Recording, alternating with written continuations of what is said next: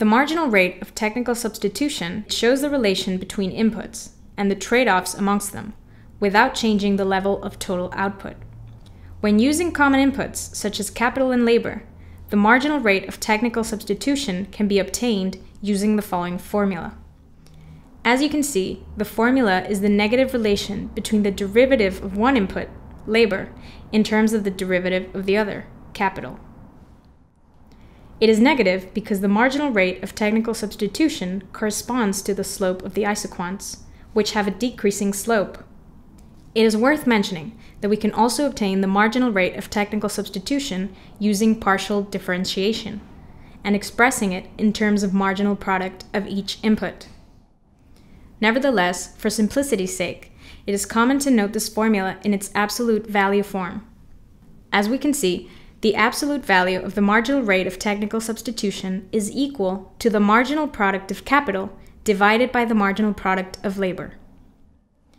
The x-axis, or horizontal axis, shows the amount of capital consumed, while the y-axis, or vertical axis, shows the amount of labor consumed. This represents a common isoquant curve. The curve joins points where a constant number of output is produced by using different combinations of inputs.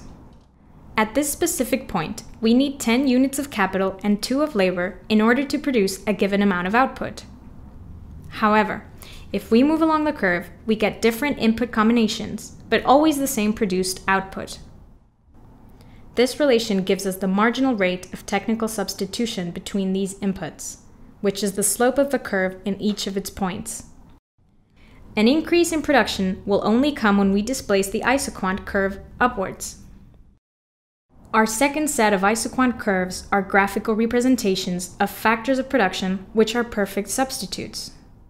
As we can see, the isoquant lines are parallel 45 degrees negatively sloped lines. The marginal rate of technical substitution is always constant and equal to 1.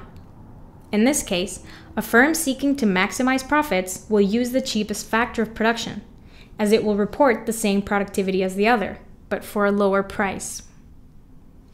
Our last example of isoquant curves shows the graphical representation of complementary inputs.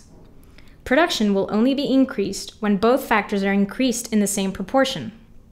In this case, the vertical fragment of each indifference curve has a marginal rate of technical substitution equal to infinite, while the horizontal fractions have a marginal rate of technical substitution equal to zero.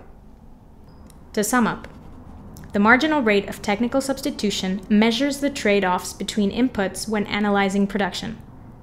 Therefore, it will vary depending on the properties of each production function.